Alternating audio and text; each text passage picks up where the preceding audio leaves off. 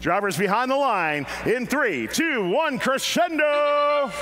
And we once again start out with quick firing activity on both sides. At least four notes making it up high for red. 44-14 continuing to hammer the speaker with notes on the red alliance side. There goes another from midfield. Here comes one last shot and they get it in high-powered scoring action on the Red Alliance side, but lots of scoring activity also happened on blue. You can see in a real-time score 24 all as we move into driver control. 44-14 immediately looking to amplify. Meanwhile, on Blue Alliance, we got 80-22 Raging Hawk Robotics playing a little bit of defense against 74-23. 65-10, scooting over to the human player to pick up a note. Pymble Pride coming to us out of New South Wales now make their way over, line up for that shot, go up high, one and two alongside High Tide. Red Alliance starting to pull away as the Nerd Herd goes to amplify. Their partner, the 80-22, with a note in possession. Looks like they're having trouble making their way to a scoring position. Look, they're trying to get in the way of the Red Alliance in the meantime. As we come to a minute 20 on the clock, High Tide goes up to score again, but bouncing off the sides of the speaker there gets that score.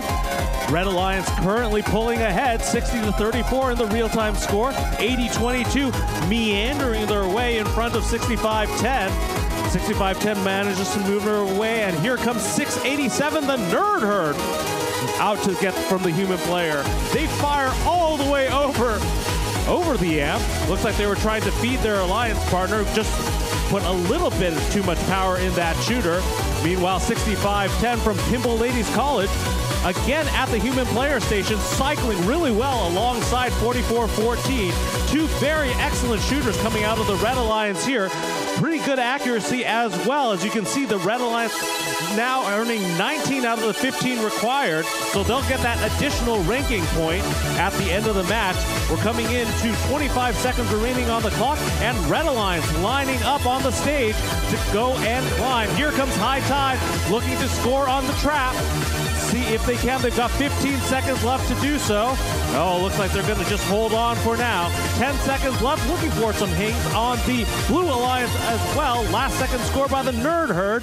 And I think that is going to close us out as we come to three seconds left. Two, one, and time.